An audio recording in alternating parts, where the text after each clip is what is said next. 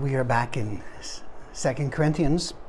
Really, chapter 6 starts with the, the first couple of verses in chapter 6 belong to chapter 5, and we've looked at chapter 5. So, as we come to chapter 6, I have to ask a question. Have you ever had a family fight? I mean, a big family fight.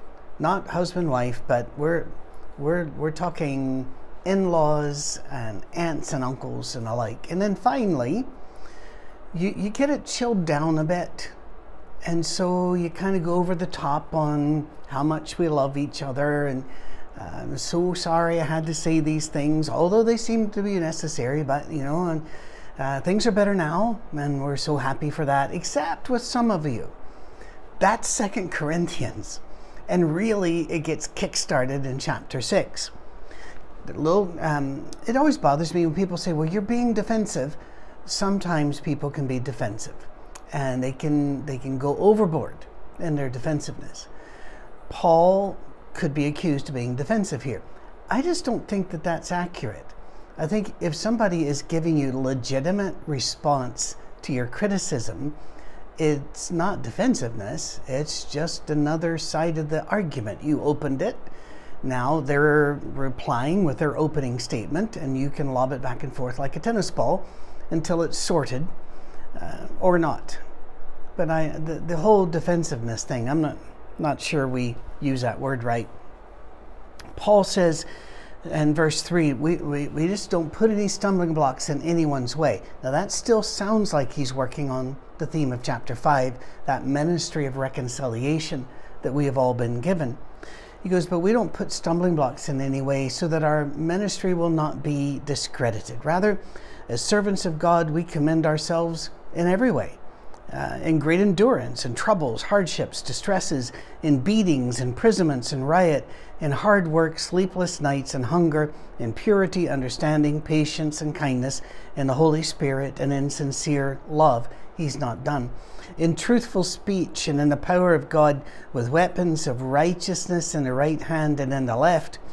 Ugh, coming into weapons in both hands through glory and dishonor, bad report and good report, genuine yet regarded as impostors, known yet regarded as unknown, dying and yet we live on, beaten and yet not killed, sorrowful and yet always rejoicing, poor yet making many rich, having nothing yet possessing everything. Laying out his credentials. And you, you got to be fair, he earned every one of those every single one of those. And by backwards engineering, you can see some of the complaints made against Paul.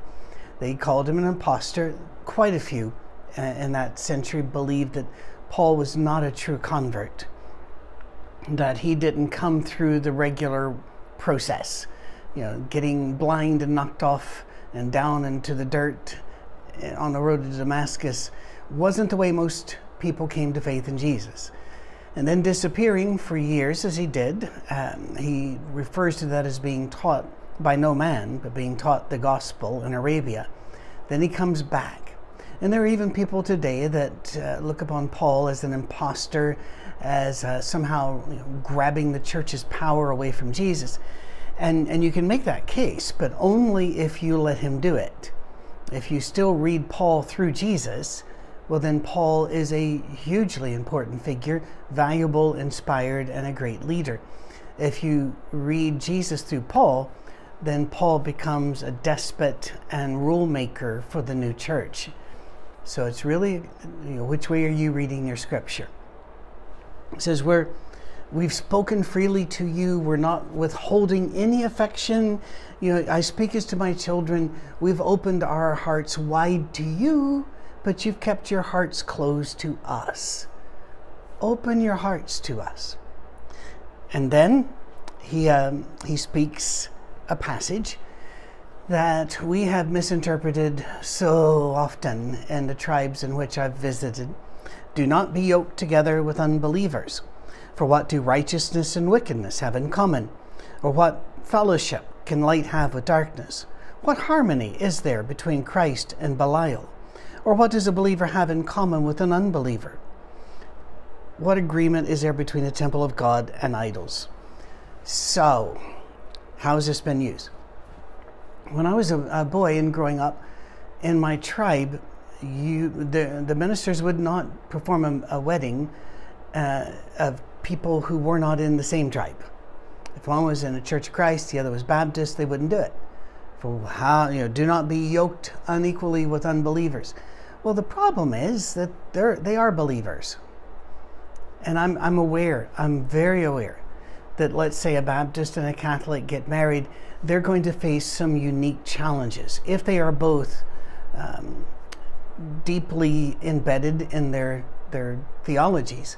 There are going to be some real struggles there, and there are going to be struggles about how to raise the children and what to do with holidays. And yes, I understand all of that, but I also believe that there can be love there, and there can be grace there, and there can be opportunities to serve the other there. Paul isn't talking about marrying here you've got to go back to First Corinthians and realize, well, they were having troubles messing around with idols and messing around with the sexual side of polygamy. And they were they, they were visiting prostitutes. They were having and but doing it in the name of religion because prostitution was a big part of ancient religions in Rome. So he's saying, don't don't yoke yourself to these unbelievers. Don't run with that crowd. Don't go to their places. Don't do what they do.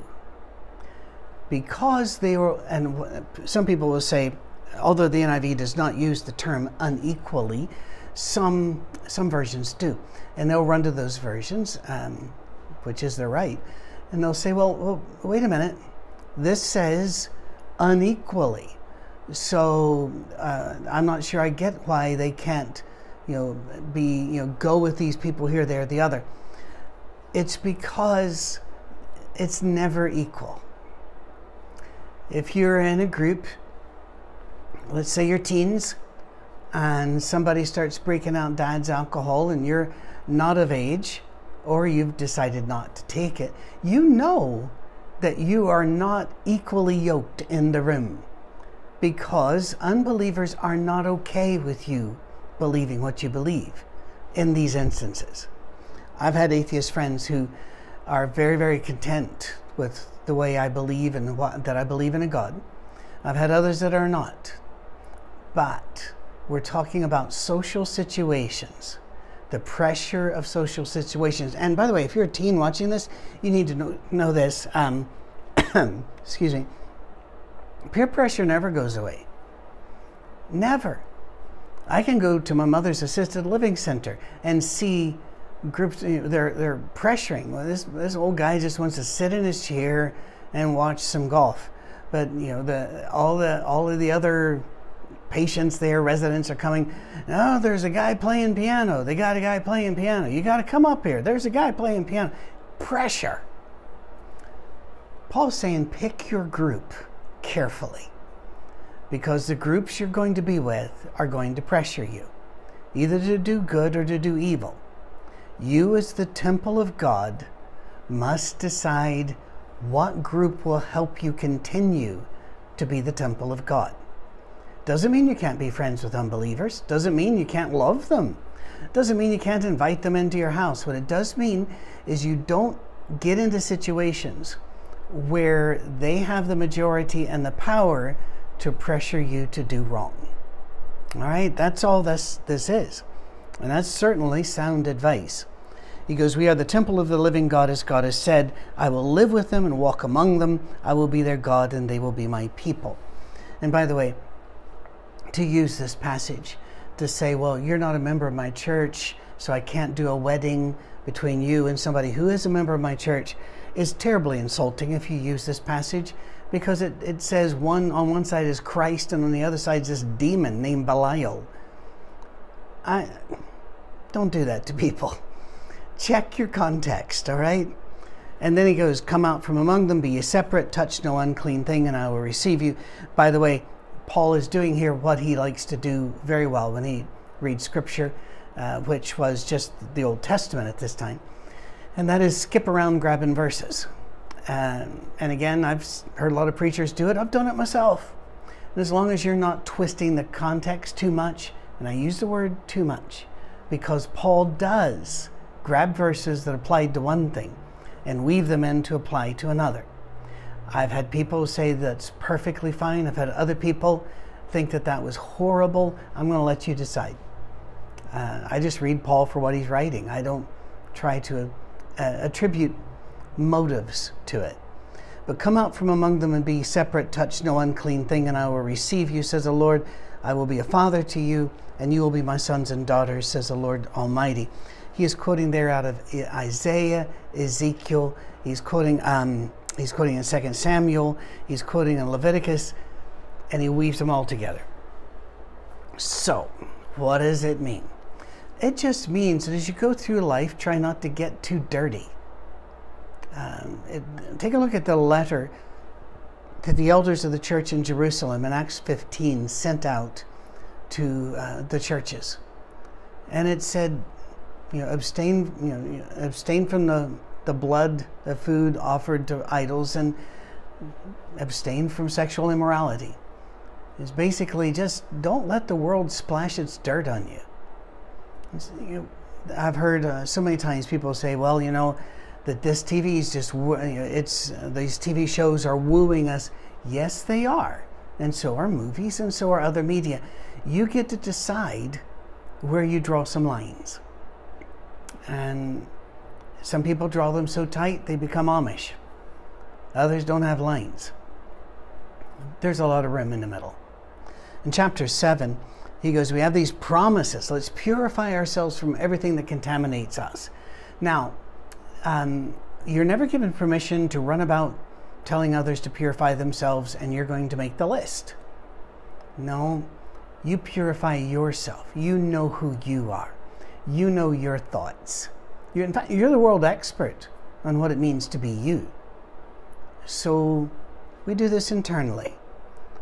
We cleanse ourselves, body and spirit, perfecting holiness out of reverence for God. Very quickly on the word holiness it and I am being very quick on this because there are great books written on this subject and they are valuable, but we're shrinking this just to a minute or two. To be holy means that you profess what you believe, and it's it is toward God and righteousness and the Son of God, and then you live the life of somebody who actually believes what they profess. And so anybody that looks at you can tell what you believe because your speech, the way you use your money, the way you use your voice, the way you use your stuff, the way you treat people in horrible situations and in wonderful situations, all of that is of a whole. You, you aren't a preacher who preaches the love of God and then marches against um, um, Muslims or marches against somebody else. You know, no. Um, by the way, I'm not opposed to all marching. This was a specific instance, It's right? Uh, there were there were preachers, for example, that years ago here in Middle Tennessee rallied together to try to block a mosque being built in Murfreesboro, and their behavior and the behavior of some people that called themselves Christian was not holy because with their mouth they professed this, but their actions they did this. We're all guilty. We're all guilty of failing to be holy. So Paul says, just keep the renewal going and be holy in our righteousness out of reverence to God. And then he, this family fight comes back in. He goes, Make room for us in your hearts. We've wronged no one. We've corrupted no one. We've exploited no one which means those were accusations that some in Corinth were still making. He says, I, I, I, do not say this to condemn you. I, I've said before that you have such a place in our hearts that we would live or die with you. I have spoken to you with great frankness. I take pride in you. I'm greatly encouraged in all my troubles. My joy knows no bounds. Now, there, there have been periods in history where flowery language just went way over the top in letters in the 1800s on the American prairie and uh, uh, between loved ones and family in the East. Sometimes you, you read it and you're going, wow, was there any adjective they did not use? Was, was there any descriptor they didn't use as over the top flowery? I don't think that's what's here. I think Paul had the capacity to disagree with somebody who was actually attacking them at the time and love them enough to live comfortably with them, even if they didn't change, or to die at their hands. Paul could be a harsh, difficult man, but I believe his capacity for love was far greater than we give him credit for. Because when we came into Macedonia, we had no rest. But we were harassed at every turn, conflicts on the outside, fears within. But God, who comforts the downcast, comforted us by the coming of Titus, and not only by his coming, but by the comfort you had given him. In other words, we disagree and you're really coming at me, but I want you to know something. I think you're good people. I think you do good things. I think you've got great hearts. I just like to see them opened up a little bit, make some more room for people like Paul, like me. He goes, even though uh, I caused you sorrow by my letter, I do not regret it, though I did regret it. I see that my letter hurt you, but only for a little while. Yet now I'm happy. this sounds like making up after a family fight when you're not quite ready to lay down all the weapons you know, people say, well, it's time to bury the axe. Well, sadly, when we bury the axe, we normally bury it in a well marked location so we can get it later. And he goes, I'm, you know, I'm, I'm sorry you had sorrow, but I'm happy that the sorrow led you to God and you repented and you weren't harmed. We didn't harm you with the letter. I think some people in Corinth were saying, oh, yes, he did. And I think they were overreacting. Um, because Paul was just doing what he could do here. By the way, we're still only reading his side. Uh, and there were, we, we truly believe, at least three, almost certainly four books of Corinthians. So we're still only getting half of his mail and none of theirs. But we, you know, Paul's earned a right to get a little grace here. He says, Godly sorrow brings repentance that leads to salvation and leaves no regret, but worldly sorrow brings death.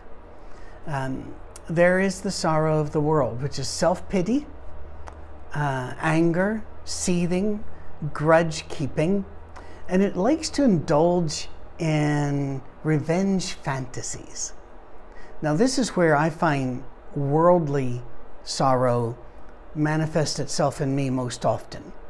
I don't think that I have an ounce of self pity in my, my being, and I hope I never do, because that's the most brutal I, when I ran a counseling practice, I wouldn't work with people that were overwhelmed with self pity because they were the most powerful person in the world. No matter where they went, everyone had to cater to them, and they weren't going to give that up. Uh, that that you know, so I didn't work with that. But I'll catch myself with revenge fantasies. Uh, not violent, usually. Most of them are you know, somebody confronts that person with what they did to me, or somebody uh, confronts that person for what they're doing to others. And I said, not violent. And they went, usually, because frankly, I've caught myself thinking of those, those poor women and children in Afghanistan that are being whipped, hung, stoned, shoved back into their homes, unallowed to come out by these brutal Taliban. I think about the, uh, the, the beautiful little girls of Nigeria that are stolen by uh, you know, this group or the other group, uh, Boko Haram, uh, and forced into sex slavery and the like.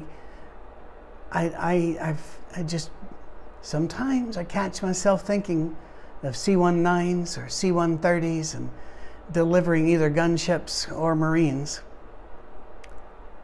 Um, and you know, I'm not a pacifist. I think there are times for, um, for action that can turn violent. But here in our lives, most of us were never going to face anything like this. And these revenge fantasies in our mind show us that we're not whole yet that what we say we believe, on the inside, we're not quite there. So he says, let's, let's live without regret. Godly sorrow says, I'm terribly sorry, and goes to the person, if at all possible, very much like the steps in AA, to make as much amends as you can, and then to be willing to, for it to take a while for that person to trust you again. Don't demand instant trust. Yeah, that's something you need to earn, and godly sorrow will give you the strength for that journey. The other person may be playing with you, but you know, you'll probably figure that out. See that this godly, see what this godly sorrow. He says, look how, look at the benefits already. We're talking uh, at every point. You've proved yourself innocent in this matter, even though I wrote to you, you know, and, and evidently there was some big thing going on in Corinth. You remember they were suing each other. It was awful. And so Paul's just saying, you know, the injured party here, that party there. By all of this, we're encouraged because you're opening up. You are sorry for what happened. In addition, he says to our own encouragement, we were especially delighted to see how happy Titus was because his spirit has been refreshed, re- refreshed, refreshed by all of you. Perhaps it's time for a uh, refreshing beverage. There we go. And he talks about Titus just loves you. And by the way, if Titus loves you, that's good. Because Paul tended to send Titus to the tough places. And then we got we we have time. We're going to run forward and we're going to grab chapter eight. All right. Uh, he goes now about the collection. What happens in chapter eight is this: Paul is in Macedonia, a very poor area. When they hear of the great need of churches elsewhere, and the Macedonians want to give to the, these, these other churches, we have every right there to, to look at them and say, no, no, you, you don't have enough to provide for yourselves. You, you're not required to give at this stage. And yet, Paul says not only did they, out of their extreme poverty, they were rich in generosity, giving as much as they were able, verse 3, and even beyond their ability, entirely on their own. Entirely on their own. Preachers never use these passages, as I have heard them used, to harangue a congregation to give more. Don't do that. He says, You do this on your own. In Scripture, it is as you have prospered, as you have made a decision. You don't let other people guilt or force you into this. People have been giving to Our Safe Harbor Church in increments of $5, $10, um, a bit here, a bit there, and then sometimes a big check comes in and blows us all away and allows us a little bit of breathing room. We can get a little bit more software to go online.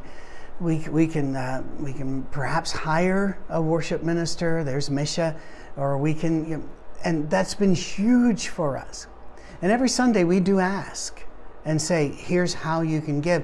But I, you go back over the last nine months. By the time you see this, it'll be ten months of our existence, and you will find we have never harangued, pressured, or guilted at all. Instead, we have lauded and thanked those who give and told others if you want to join, here's how. And that's it. I appreciate that when I hear that spirit in churches or on podcasts by people that are making podcasts for uh, this subject. You know, it could be anything: history of rock and roll or the history of Macedonia. And I really appreciate it when they don't go on and on and on about the money, but they just say, listen, it means a lot and it helps us do this if you could take care of this. I, I appreciate that. Anyway, Macedonians are poor, but they gave and they gave and they gave. Um, they gave first to the Lord and then by the will of, of God, he says they've given it uh, more, you know, beyond that to Paul and to us. So Titus would have been in there. Uh, perhaps Luke is still involved. I'm not sure where, you know, who his companions were at, at this particular point. But he said, verse 7 Since you excel in everything, in faith and speech and knowledge, in earnest and complete earnestness, and the love we have kindled in you, see that you also excel in the grace of giving. Uh, giving was a hard thing for me to learn. It really was. I grew up uh, relatively poor, and we knew we were poor. I don't understand people who say we were poor but didn't know it. I knew it. I was observant. Uh, and a lot of things other kids had we didn't get. Now, parents loved us. We were well supplied. Uh, certainly didn't starve to death. We didn't. Uh, we didn't go to school without shoes. I, I don't want to overplay this hand, but I understood that money wasn't much there.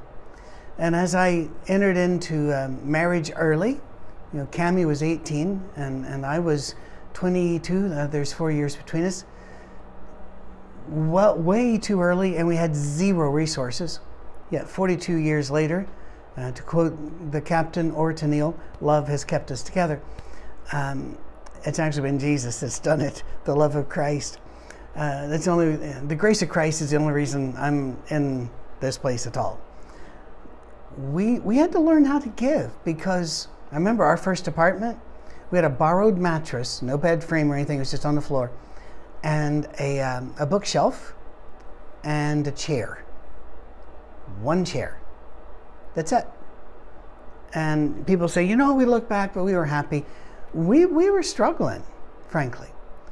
And therefore, I always thought that the money I had was barely enough to survive and didn't think in terms of giving. I had to watch other people give and see the sacrifice they made. And I would love to give illustrations, but I've not asked permission from these people, so I won't but I saw them give to their hurt. And I decided to try. Now, I'm not a prosperity gospel guy. I'm not going to tell you, you just give till it hurts and God will just pour money from an unexpected. No, no. Um, I've had money from unexpected sources before, but I don't see a cause and effect there. What I see is God supplying so I can give. In fact, Paul even brought up earlier in one of his books we went through, we work so that we can give. That's the purpose. Jesus said, don't lay up treasures, give. We don't, you know, at our safe harbor, by the way, we don't give through super large charities that are multinational because we're not in charge of the money once it leaves our hands. And we don't know who has it. We don't know who takes it and what they do with it. So we work with One Generation Away, we work with, um, with uh, GraceWorks, and then we also work where you are. If you're a member of our Safe Harbor Church, which you can be, just email me, patrick at oursafeharbor.com. Tell me you want to be. We'll sort that out. Uh, it's, it's easy done and we love it. But if you're a member, and let's say we, we, I know we have like four or five families in Spokane, Washington. Let's say they have a flood and there are some people there that need help. Whatever they raise, we may be able to match it, but we give to the people we know. We, we help the people on the ground where the money doesn't have to pass through too many hands. Be smart. But giving has enriched my life beyond measure. Uh, when we were fired and we had no income for, for months, that was a really hard thing for me to do, was to go worship without giving a check. And then, as soon the first week we were put on salary, I wrote the check and I said, Cami, I've written a check to the church. And her eyes got big and she got out of her chair. She said, Can I see it? And I showed it to her, and it was the same amount, which is a tithe that we were giving before we were fired, but now to a new place. And, and she actually cried. She said, I'm so happy we can give. Giving's giving's good. All right? And in again, no pressure on you though. Verse 8 here, I'm not commanding you. No, we wouldn't do that. We'll be friends if, if a penny never passes between us. You'll be as much friend as if thousands do. Because who am I to tell you what to do? Go on. I want to test the sincerity of your love. He says, uh, Here's my judgment about what's best for you in the matter. And verse 10, and I like that. Here's my judgment. Last year, you were the first not only to give, but also to have the desire to do so. Now, keep that same spirit up. Finish that work. Be givers. Be generous with your time. Be generous with your money, obviously, with your stuff, but be, be a generous person. Somebody has a story. Everywhere I go, I get people that want to tell me stories. And many times they are long disconnected and have nothing to do with anything I will ever need to know. But as much as possible, I try to hang in there and be generous and hear their story. Um, it, it's worth it for them, and I think it's probably worth it for me too. Then Titus is being sent to um, to pick up the collection, and he's very Paul is very very concerned that you understand they're going to use money wisely. He says, verse 20, we want to avoid any criticism of the way we administer this liberal gift, for we're taking pains to do what is right, not only in the eyes of the Lord, but also in the eyes of men. And we do that as well, by the way. We, um, we pay part time a man who is an expert in IRS and 501c3s and chief financial officer stuff and the like, and he gives us a huge bargain for the amount of work he does for us. He has his own job. But he he will let us know, oh, that's a red flag. No, we don't put money that way. No, we move this over here. Yes, you can do that. That's brilliant. And then we have a, a board at our safe harbor that is made up of men who understand money, rules, law. And we are very, very open with our people because we want everything to be pristine and not just legal, but moral, ethical, and generous as we can be. Uh, so they're sending people to them. In verse 24, the last uh, verse in chapter 8, therefore show these men the proof of your love and the reason for our pride in you, so that the churches can see it. He's going to change subject, so we're going to leave it at there. Three chapters today. But I like that last wrap up.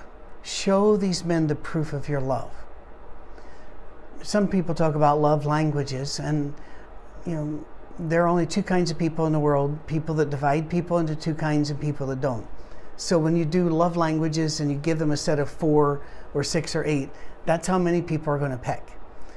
So I'm not going to go that way. What I'm going to do is this. If some you love someone and you tell them that's great, now you need to show them, but you need to show them in the way they can understand it and receive it. So he's saying, show these people the proof of your love. So you're not going to just stand there when they come in and go, hey, we love you. You're going to open up your homes. You're going to help them. If you can give, you'll give some more, but you will show them grace and kindness. You'll feed them. That's brilliant.